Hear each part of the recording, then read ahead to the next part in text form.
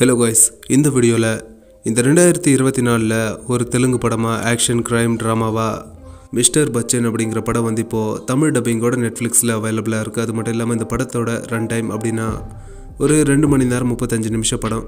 இப்போ இந்த படத்தோட கதை என்னன்னு பார்த்துடலாம்.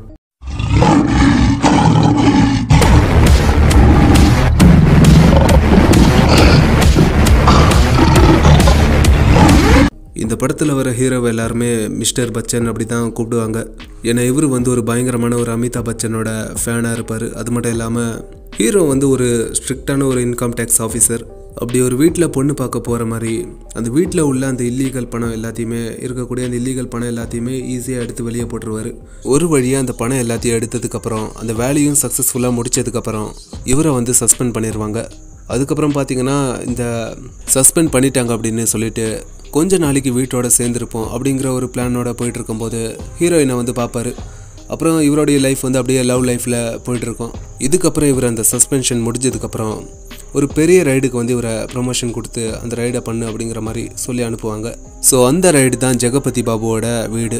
அந்த வீட்டுக்கு இவர் போனதுக்கப்புறம் என்னென்ன வெளியே கொண்டு வந்தார் அது மட்டும் இல்லாமல் எத்தனை நாள் ரைடு பண்ணார் அந்த வீட்டில் அப்படிங்கிறது தான் இந்த படத்தோட கதையாக இருக்குது இந்த படத்தில் ஃபஸ்ட்டு ஒன் ஹவர் பார்த்தீங்கன்னா பயங்கர கடுப்பேற்றி விட்றோம் அதுலேயும் இந்த லவ் சீன்ஸ் எல்லாம் பார்த்தீங்கன்னா பயங்கர சொதப்பலாக இருக்கும். பார்க்குற மாதிரியே இருக்காது. ஏன்னா அந்த அளவுக்கு கேவலமாக எடுத்து வச்சுருப்பாங்க அந்த ஒன் ஹவரில் சரி ஃபர்ஸ்ட் ஹாஃப் தான் அப்படி இருக்குது அப்படின்னா செகண்ட் ஹாஃபில் பார்த்தீங்கன்னா அந்த ரைடில் மொத்தம் அஞ்சு நாள் ரைடு நடத்துவாங்க. அதுலேயும் அவர் வீட்லேயே சாப்பிட்டுக்கிட்டு குடியிருந்துக்கிட்டு திரும்பவும் ரைடு நடத்துவாங்க. அந்த ரைடில் தேவையில்லாத ஒரு பாட்டு வரும். ஃபாரினில் போய் ஒரு டான்ஸ் எல்லாம் ஆடிட்டு திரும்பவும் இந்த ரைடு நடத்துவார். அந்த பாட்டெல்லாம் உண்மையிலே எதுக்காக இந்த படத்தில் வச்சாங்க அப்படிங்கிறது உண்மையிலே புரியல. அதெல்லாம் உண்மையிலே தேவையில்லாத ஒரு பாட்டு. ஒரு கட்டத்துக்கு அப்புறம் ஜெகபதி பாபு இவனுங்க பண்ணுற இந்த செயலெல்லாம் பார்த்து அவராலே தாங்க முடியாமல் இதெல்லாம் எப்படியாவது எடுத்துக்கிட்டு இங்கேருந்து போய் தொலைங்கடா அப்படிங்கிற மாதிரி கையெடுத்து கும்பிடுவார். அதெல்லாம் பார்க்கும்போது இந்த படத்தில் அவர் வில்லனா இல்லை காமெடியனா அப்படிங்கிற மாதிரி தான் இருந்துச்சு. இதுக்கப்புறம் இப்படி ஒரு மொக்க படத்தை நீங்கள் பார்க்கணும் அப்படின்னு ஆசைப்பட்டீங்கன்னா கண்டிப்பாக போய் பாருங்கள் நெட்ஃப்ளிக்ஸில் தமிழ் டப்பிங்கோட அவைலபிளாக இருக்குது